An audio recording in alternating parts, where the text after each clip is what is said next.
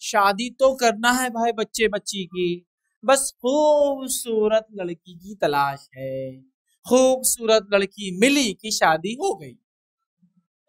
ओहो, माशाल्लाह माशाल्लाह। बच्चा हाँ रेडी सब रेडी हो गया कि अपने बड़े बच्चे की शादी करना है। उम्र हो रही ना उसकी अट्ठाईस तीस साल हो गया।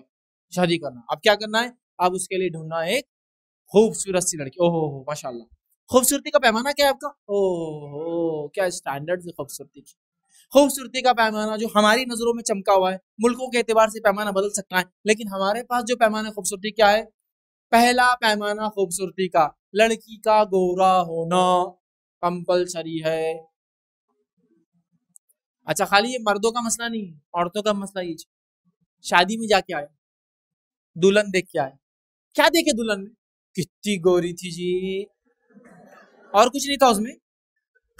कुछ भी नहीं था और इतना ही बोलने के लिए था। हाँ बस। बस। तो खूबसूरती क्या है? गोरा होना। अब उसमें एक प्लस और लग गया अभी आजकल, नए जमाने में। गोरे होने के साथ साथ स्लिम ट्रिम होना। वेट जो है अंडर फिफ्टी होना। एग्जैक्ट बोले तो precisely forty five to forty seven के बीच में। बोले तो तोल के लेंगे हम, शादी से पहले हम बराबर फोर्टी प्रिसाइस तो दो क्राइटेरिया एकदम कॉमन हो चुके हैं। गोरा होना और दुबला पतला होना। तो ऐसे लोगों को मैं सजेशन देता हूँ, आप गलत जगह जा रहे हैं। आपको लड़की नहीं चाहिए, आपको ट्यूबलाइट चाहिए। जितनी चमकदार बोले, जितने वाइट की वाइट चमकेंगी। जितनी लेंथ बोले, दो, अब तो चाइना का माल आएगा तो एक फीट से लेकर छह फीट तक आती है। जो होना वो ले लीजिए। चम चम चमकेंगी, लोग भी तारीफ़ करेंगे। इसलिए कि जो चीज़ मैन्युफैक्चर होती है कंपनी में बनती है, उसमें स्पेसिफिकेशंस डाले जा सकते हैं, ये चाहिए, ये नहीं चाहिए। जो चीज़ें पैदा होती है बर्थ लेती है, वो चीज़ों में हमारा क्या था? क्या हमसे पूछा जाता है कि लड़का लड़की कैसी होना तुमको? कलर शेड क्या डाले, फरिश्ते बोलते मिक्स करने से पहले? अल्लाह नवाज़ देता है, मामला हो जाता है। तो जिस चीज़ को बनाया जाता है, उसमें स्पेसिफिकेशन होते हैं। कलर टाइप होता है मॉडल टाइप होता है वर्जन टाइप होता है। लेकिन जो चीज़ें पैदा होती है ना उसमें ये नहीं होता है। तो खूबसूरती होना, गोरापन होना तो ये कौन सी खूबसूरती है, मुझे तो कुछ पल्ले नहीं पड़ता और समझ में नहीं आता है। अल्लाह ताला ने इंसानों को दो शेड में पैदा किया, इबन आदम कौन कौन से शेड्स हैं? मेरी जबान में बोलता हूँ, गोरा गोरा गोरा गोरा गोरा गोरा, ढूस। फिनिश हो गया? काला काला काला काला काला घुस। इससे कुछ और ज़्यादा नहीं इब्ने आदम दो ही शेड्स में मिलते हैं। Variants of blacks and variants of whites खत्म। दो कलर में भी शेड कार्ड लेके घूमते हैं। बच्ची देख लिए। बाजू अपने बाजू बाजू शेड कार्ड की। अरे, आपकी बच्ची तो स्नो व्हाइट है। हमको मिल्की व्हाइट होना था। मतलब व्हाइट में भी कलर शेड्स नहीं, वो स्नो वाला तरह ज़्यादा हो जाता। मिल्की चाहिए था हम लोगों को।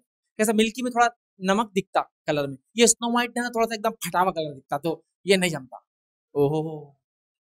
अच्छा बहुत गोरा होना तो अगर कोई कोड़ की मरीजा ला दे जो पूरी गोरी रहती है अरे नहीं, नहीं चलती। वो भी तो गोरी है ना। मसला क्या है? तेरा मसला क्या है? तेरी सोच क्या है? जिनकी ऐसी सोच होती है ना तो मैं उनको चैलेंज देता हूँ हमेशा। मेरे चैलेंज को कबूल करे ऐसे लोग जो अल्लाह की मखलूक में कीड़े चुनते हैं ना ऐसा होना वैसा होना शेड कार्ड लेके घूमते वो औरत जो सास बनने वाली, जो बहू ढूंढ रही है ऐसी, वो लड़का जो ऐसी लड़की ढूंढता है, मैं उनको एक चैलेंज हमेशा देता हूँ। मेरा चैलेंज अगर वो कबूल कर सकते तो कबूल करे।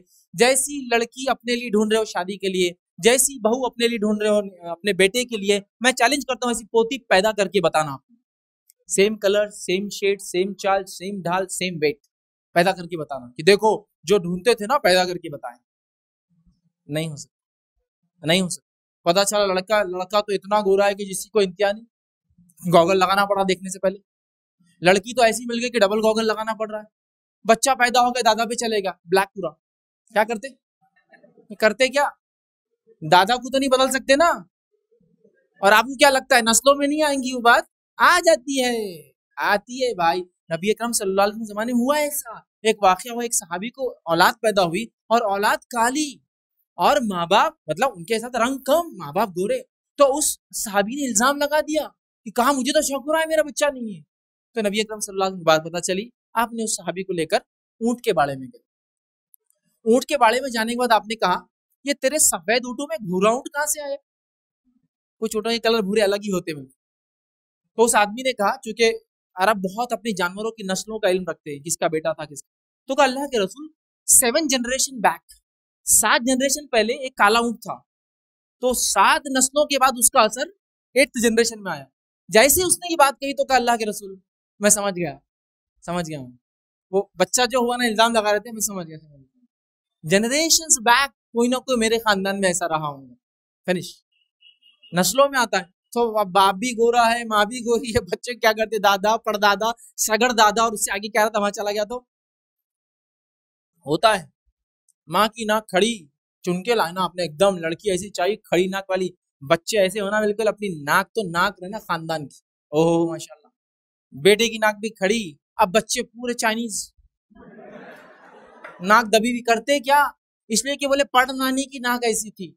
हाँ क्या करेंगे आप बोल नहीं सकते, इसलिए मैं चैलेंज कर रहा हूँ। जैसी बीवी ढूँढने के चक्कर में लगे हुए हो, और जैसी बहू के चक्कर में हो ऐसी बेटियाँ और पोतियाँ पैदा कर सकते का सोच लो, अल्लाह की मखलूक में आज किले चुनते हो किसी की बेटी में। कल जमाना आएगा, तुम उस मुकाम पे होंगे जहाँ वो बाप है और तुम्हारी बेटी उस मुकाम पे होंगी जहाँ ये औरत तुम्हारी बीवी या बहू थी तब क्या करोगे? तब शायद अल्लाह से माफ़ी हूँ अल्लाह गलत किया था, लेकिन नहीं होगा, अभी कर लेना चाहिए।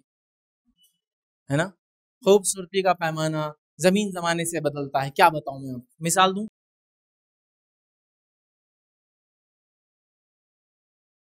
वालेकुम आप भी हमारे इस काम में ताउन करें, अपनी ज़कात और के ज़रिए डोनेशन डिटेल्स के लिए डोनेट पर क्लिक करें। अगर आपको हमारे वीडियो पसंद आए हैं तो इसे शेयर करें और सबके हकदार बने। रोज़ाना हमारे वीडियो को पाने के लिए हमारे यूट्यूब चैनल को सब्सक्राइब करें और बेल आइकन दबाएँ। हमसे दीगर सोशल मीडिया पर जुड़ने के लिए वीडियो में दिए गए आईडी को सर्च करें। जजाकल्लाह।